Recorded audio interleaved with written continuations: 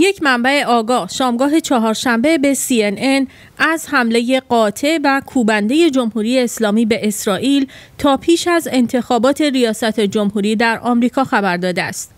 با اینکه CNN هویت منبع خود را فاش نکرده ولی با توجه به سخنان او به نظر می رسد یک مقام ارشد ایرانی باشد که گفته است پاسخ جمهوری اسلامی به تجاوزات اسرائیل قاطع و دردناک خواهد بود. بر اساس این سخنان جمهوری اسلامی ممکن است در ظرف یک هفته آینده به اسرائیل حمله کند. این در حالی است که ایگور لیبرمن عضو مجلس اسرائیل به جمهوری اسلامی هشدار داده است که هر حمله ای با پاسخی دو برابر روبرو خواهد شد. لیبرمن از دولت و ارتش اسرائیل خواسته است تا به جای انتظار برای حمله ایران با حمله پیشگیرانه بار دیگر توانایی نظامی اسرائیل را با تمام قوا نمایان کنند. در واکنش به گزارش CNN دو مقام ارشد آمریکایی از جمهوری اسلامی خواستند که از پاسخ به حمله پنجم آبان اسرائیل به خاک ایران خودداری کند.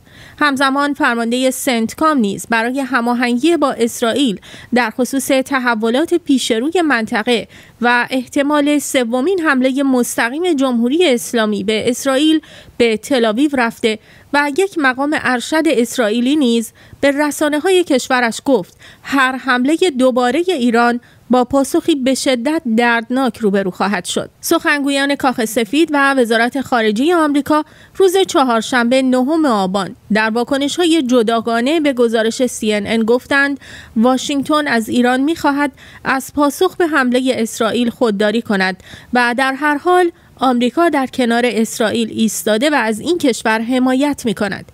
کاریان ژان پیر سخنگوی کاخ سفید روز چهارشنبه به جمهوری اسلامی هشدار داد که تصمیم برای حمله به اسرائیل را کنار بگذارد وی که در کنفرانس خبری شرکت کرده بود گفت ایران نباید به حمله تلافی جویانه اسرائیل پاسخ دهد خانم ژان پیر اضافه کرد اگر این کار را بکنند ما از اسرائیل برای دفاع از خود حمایت خواهیم کرد.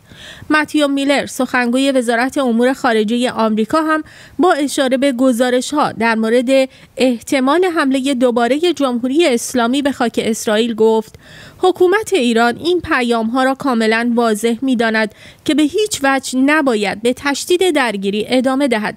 متیو میلر روز چهارشنبه نهم آبان در مورد حمله تلافی جویانه اسرائیل در روز شنبه هفته جاری به مواضع جمهوری اسلامی گفت آن حمله پاسخ مناسبی از سوی دولت اسرائیل به حمله بی سابقه حکومت ایران بود اما این باید پایان کار باشد وزارت دفاع آمریکا پنتاگون پیشتر اعلام کرده این احتمال که جمهوری اسلامی به حمله تلافی جویانه اخیر اسرائیل پاسخ دهد وجود دارد. پت رایدر سخنگوی پنتاگون روز سهشنبه در یک کنفرانس خبری گفت آمریکا به این موضوع توجه دارد و باید خود را آماده همه احتمالات کند. او با اشاره به بیانیه صادر شده پنتاگون درباره تماس اخیر لویداستین وزیر دفاع آمریکا با همتای اسرائیلی خود گفت در صورتی که حکومت ایران بخواهد کاری کند ایالات متحده به امنیت اسرائیل کاملا متعهد است و همچنان آمادگی دارد. سخنگوی پنتاگون در پاسخ به خبرنگاری که پرسید آیا حمله احتمالی جمهوری اسلامی به اسرائیل زود هنگام است یا خیر گفت سخنان مقامات جمهوری اسلامی در این باره موجود است و او مورد اضافه ای ندارد که بگوید و وارد توصیف اینکه آیا این حمله قریب الوقوع است یا خیر نمی شود. پت رایدر تاکید کرد آمریکا از تنشها کاملا آگاه است به اسرائیل در دفاع از خودش کمک می کند و از نیروهای آمریکایی در خاورمیانه در برابر حمله احتمالی جمهوری اسلامی و گروه های نیابتی آن حفاظت می کند.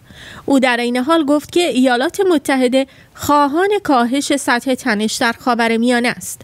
اسرائیل بامداد شنبه پنجم آبان در پاسخ به شلیک حدود دویست موشک بالستیک از جمهوری اسلامی در حمله هوایی حدود 20 سایت نظامی در خاک ایران را هدف قرار داد که این حملات دست کم چهار کشته از نظامیان در ایران بر جای گذاشت. طبق گزارش های رسانه های غربی حمله اسرائیل خسارات قابل توجهی به سامانه های پدافند هوایی و کارگاه های تولید موشک و پهپاد در ایران و همچنین یک پایگاه موشکی سپاه در سمنان وارد کرد. جمهوری اسلامی فقط حمله در تهران، خوزستان و ایلام را تایید کرده بود. اما خبرگزاری آسوشیتد پرس روز سهشنبه با استناد به تصاویر ماهواره‌ای خسارت ناشی از حمله اسرائیل در استان سمنان را نیز گزارش داد. بر اساس گزارش ها حمله موشکی جمهوری اسلامی به اسرائیل خسارت مهمی بر جای نگذاشت.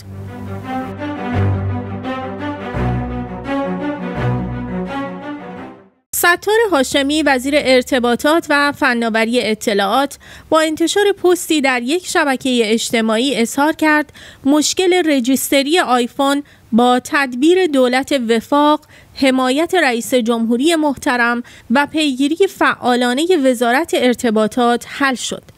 وی افزود که معتقدم با کار کارشناسی ایجاد وفاق بدون هیاهو و قوقاسالاری می توان سایر مشکلات فضای مجازی و مطالبات مردم را حل کرد. چند ساعت پس از انتشار خبر لغو ممنوعیت رجیستری آیفون مشخص شد هیئت وزیران تعرفه واردات تمام گوشی های آیفون را 96 درصد تعیین کرده است. در همین رابطه خبرگزاری مهر گزارش داده با مصوبه هیئت وزیران و ابلاغ رسمی معاون اول رئیس جمهوری سود بازرگانی واردات گوشی های تلفن همراه آیفون 96 درصد تعیین شد. در بخش ابلاغی از سوی محمد رضا عارف معاون اول پزشکیان قید شده که واردات هر نوع تلفن همراه هوشمند با نشان تجاری اپل با سود بازرگانی 96 درصد مجاز است.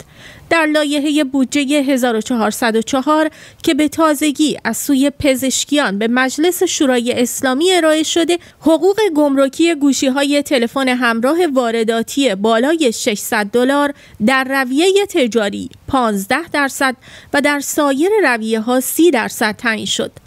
دولت توضیح نداده که چرا حقوق گمرکی نشان تجاری اپل در مصوبه دولت بیش از شش برابر لایحه بودجه تعیین شده است.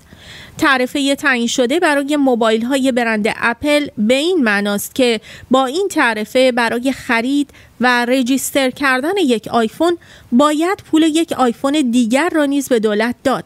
تلفن های همراه با برند اپل از قیمت بالایی برخوردار بودند و با تعیین چنین تعرفه ای عملا از دسترس اکثر کاربران دور خواهند شد. فعالان بازار موبایل معتقدند با تعیین این سود بازرگانی احتمالا قیمت آیفون 16 پرو مکس در محدوده 100 میلیون تا بالاتر از 200 میلیون تومان به دست مصرف کننده ایرانی برسد.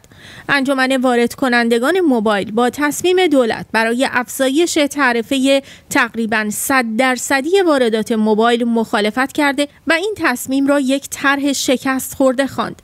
جلال رشیدی کوچی نماینده سابق مجلس که چندی پیش کارزاری برای واردات آیفون به کشور راه انداخته بود در واکنش به تصمیم هیئت وزیران پزشکیان در ایکس نوشت گوشی هزار دلاری لوکس نیست اما وقتی 96 درصد تعرفه روی آن میبندید و به قیمت دو هزار دلار به خلق الله می فروشید می شود لوکس. هرچند هنوز هم معتقدم رفع ممنوعیت واردات آیفون دستاورد خوبی است و جلوی انحصارهای بعدی را گرفت. اما آقایان دولت با کچ سلیقگی شیرینی این خبر را به شدت کاهش دادید. خرداد ماه امسال در فهرست جدید منتشر شده از سوی گمرک تعرفه 96 درصدی برای واردات آیفون تعیین شده بود. رقمی که البته اجرای آن مدت زیادی طول نکشید. حال دوباره این تعرفه گذاری از سوی دولت مطرح شده است. مهدی اسدی رئیس انجمن وارد کنندگان موبایل در این رابطه به شبکه شرق گفت پیش از این نیز چنین تعرفه ای برای گوشی های آیفون 13 اعمال شد. اما موفقیت آمیز نبود و تعرفه ها به حالت قبل بازگشت. به اعتقاد این فعال سنفی تعرفه 96 درصدی برای این گوشی ها از جذابیت خبر رفع ممنوعیت رجیستری میکاهد و همچنان بحث قاچاق آیفون ادامه خواهد داشت. اسدی تعرفه کمتر از 50 درصد را برای گوشی های برند اپل مطلوب دانست و گفت با دولت جلسه خواهد گذاشت و تعرفه های پیشنهادیشان را اعلام خواهند کرد. با این همه هدفگذاری دولت چهاردهم درآمد خالص 264 هزار میلیارد تومانی از حقوق ورودی گمرکی در سال آینده است. رقمی که نسبت به امسال 85 درصد افزایش داشته و دولت به دنبال افزایش درآمدهای گمرکی است تا بخشی از کسری بودجهش را پوشش دهد. به نظر می رسد گوشی های پرطرفدار آیفون هم از جمله کالاهای هدف گذاری شده برای افزایش سود دولت هستند. به بیان دیگر رفع ممنوعیت رجیستری آیفون نه به عنوان اقدامی برای کاهش فشارها و محدودیتها از شهروندان بلکه برای پر کردن جیب دولت بوده است. به نظر می رسد دولت با توجه به برآوردی که از تقاضای بالای گوشی های آیفون در ایران دارد ممنوعیت واردات و رجیستری آیفون را لغو و تعرفه واردات را افزایش داده است.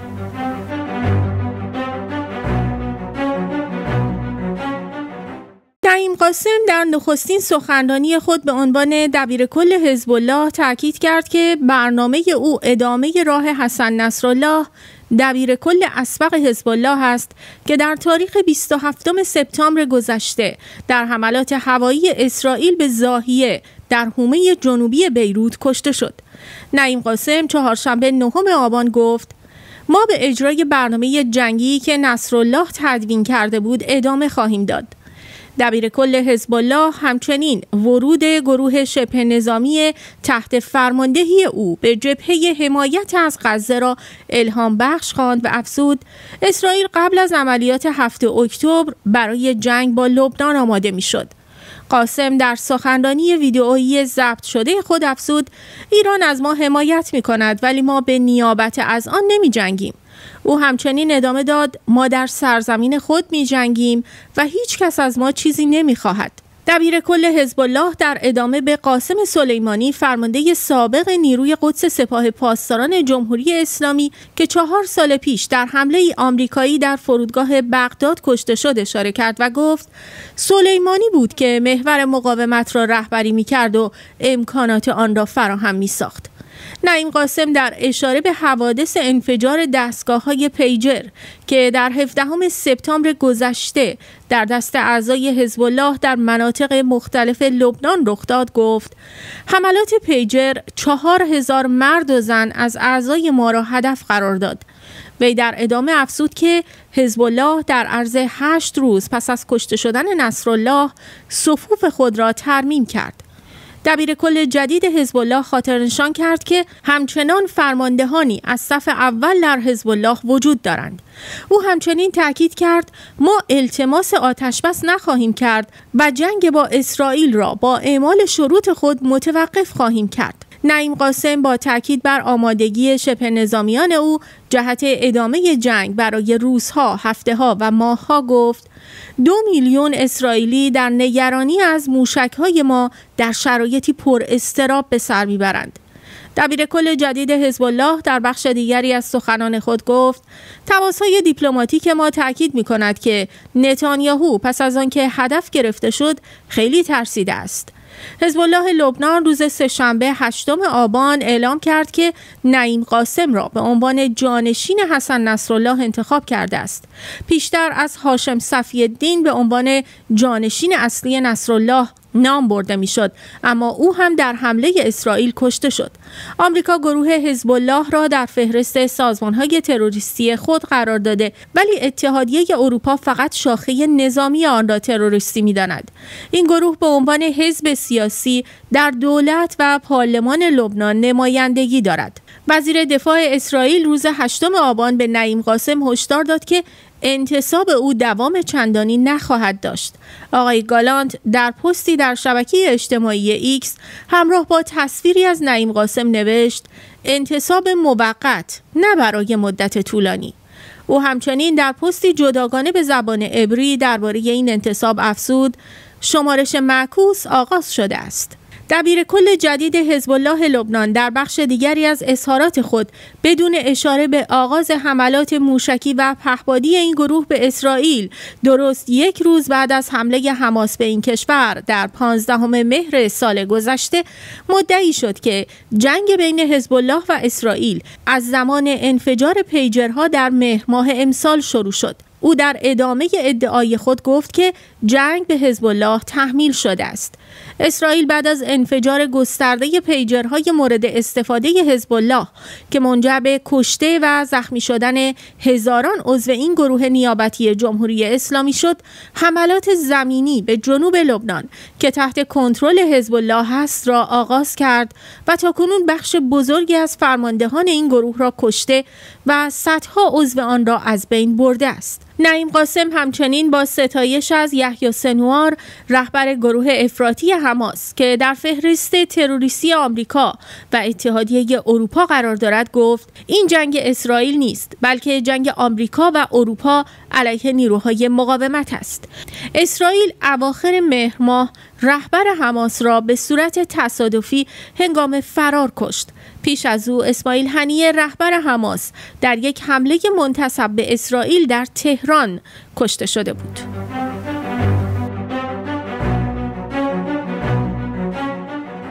سازمان امنیت داخلی و پلیس اسرائیل روز پنجشنبه دهم آبان در بیانیه مشترک اعلام کردند که یک زن و شوهر ساکن اسرائیل را به اتهام جاسوسی برای جمهوری اسلامی ایران بازداشت و بازجویی کردند. به گفته شباک و واحد بین الملل پلیس اسرائیل رافائل و لال قلیوف هر دو سی و دو ساله از مهاجرین تازه وارد از منطقه قفقاز جمهوری آذربایجان متهم هستند که از سوی آلاشین آقایوف یک مرد 56 ساله اهل جمهوری آذربایجان برای گردآوری اطلاعات از اسرائیل به خدمت گرفته شدند. کیفرخواست این دو نفر به اتهام کمک و ارائه اطلاعات به دشمن با هدف ضربه زدن به امنیت ملی به دادگاهی در مرکز این کشور ارائه شده است. بر اساس این کیفرخواست متهمین از جمله از مقر موساد، بندر حیفا و گورستان شهروندان اسرائیلی جانباخته در حمله هفتم اکتبر گروه افراطی حماس عکس و فیلم گرفته و آن را معمولا از طریق کانال تلگرام یا راه های مشابه دیگر برای کسانی که با آنها در تماس بودند میفرستادند. به گفته نهادهای امنیتی اسرائیل این دو نفر روزانه 600 دلار برای مأموریت خود می گرفتند و در مجموع تا پیش از بازداشت 26 هزار دلار دریافت کرده بودند. این زوج که پس از مهاجرت به اسرائیل در شهر لود در مرکز این کشور ساکن شده بودند متهم هستند همچنین مأموریت داشتند در مورد سایر زیرساختهای اسرائیل تأسیسات امنیتی و همچنین یک پژوهشگر زن در اندیشکده مطالعات INSS در مرکز این کشور اطلاعاتی گردآوری کنند. این کیفرخواست می‌گوید هدف از گردآوری اطلاعات علیه این پژوهشگر زن سوء قصد به جان او بود. رسانه های اسرائیل همچنین روز پنجشنبه خبر دادند که دادستانی این کشور علیه یک شهروند ساکن شهر بنی براک در مرکز اسرائیل به نام بنیامین وایس از جمله به اتهام تعقیب یک دانشمند هسته‌ای اسرائیل به درخواست افسران تشکیلات اطلاعاتی جمهوری اسلامی کیفرخواستی به دادگاه تلاویو ارائه کرد. آقای وایس متهم است که از خانه و خودروی این دانشمند اسرائیلی عکسی برای یک مامور جمهوری اسلامی ارسال کرد و آن مامور تصاویر را برای رامی الیان رئیس باند هفت نفره فلسطینیان متهم به جاسوسی برای جمهوری اسلامی در شرق اورشلیم فرستاد و از او خواست که برای کشتن این دانشمند اسلحه تهیه کنند. در اکثر مواردی که طی هفته های اخیر افرادی به اتهام جاسوسی برای جمهوری اسلامی دستگیر شدند تاکید شده که یک فقره از مأموریت مهم محوله به آنها رصد و تلاش برای کشتن یک دانشمند هسته‌ای اسرائیلی بوده است. نام این دانشمند اعلام نشده است. بنیامین وایس همچنین متهم است که به درخواست معمور جمهوری اسلامی اقدام به آتش زدن خودرو در خیابانهای اسرائیل کرده. بنرهای شورش علیه دولت اسرائیل نصب کرده. گرافیتی بر در و دیوارها کشیده.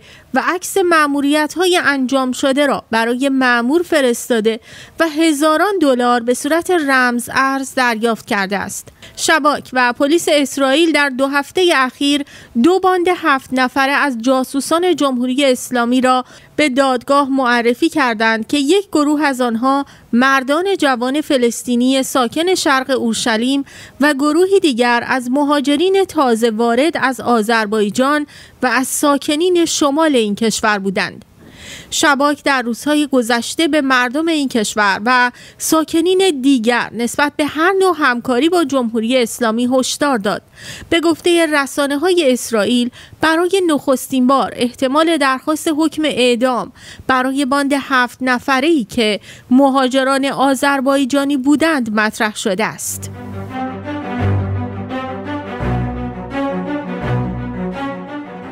خبرگزاری کره شمالی از آزمایش موشک قاره پیمای جدیدی که آن را قدرتمندترین سلاح راهبردی جهان نام نهاده خبر داده که دوربردترین از نوع خود است و مسافتی بیش از هزار کیلومتر را طی کرده است.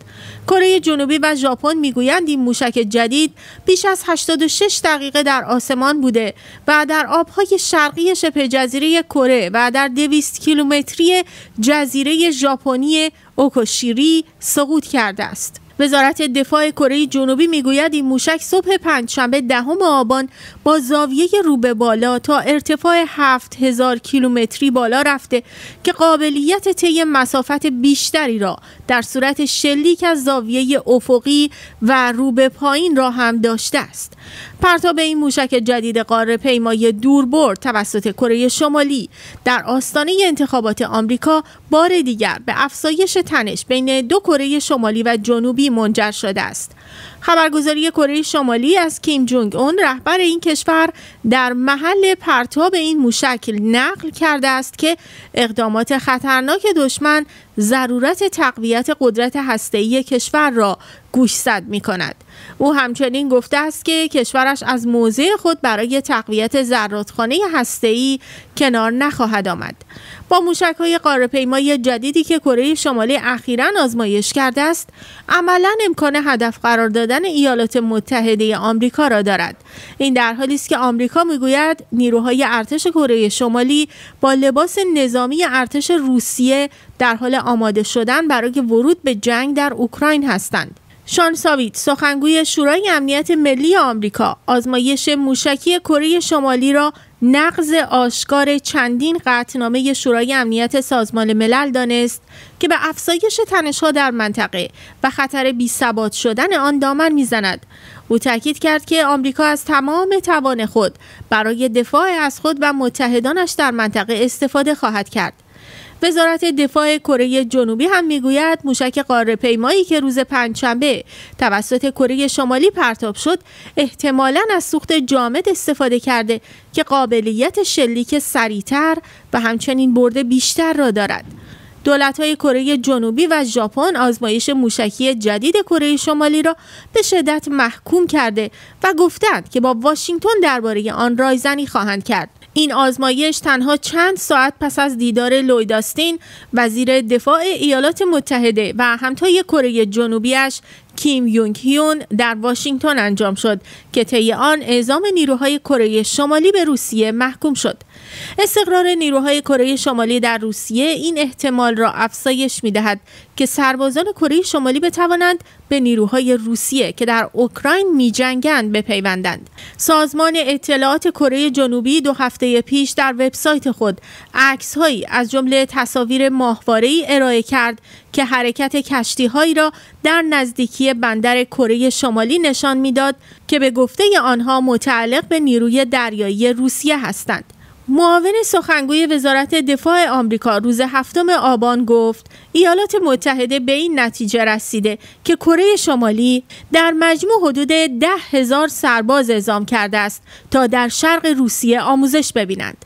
مارک روته دبیر کل ناتو نیز روز دوشنبه پس از جلسه ای که در آن مقامات کره جنوبی اطلاعات خود در این زمینه را در اختیار مقامات ارشد ناتو قرار دادند گفت تعمیق همکاری های نظامی روسیه و کره شمالی هم برای امنیت منطقه اقیانوس آرام ایران و هند و هم امنیت منطقه اروپا آتلانتیک یک خطر جدی است.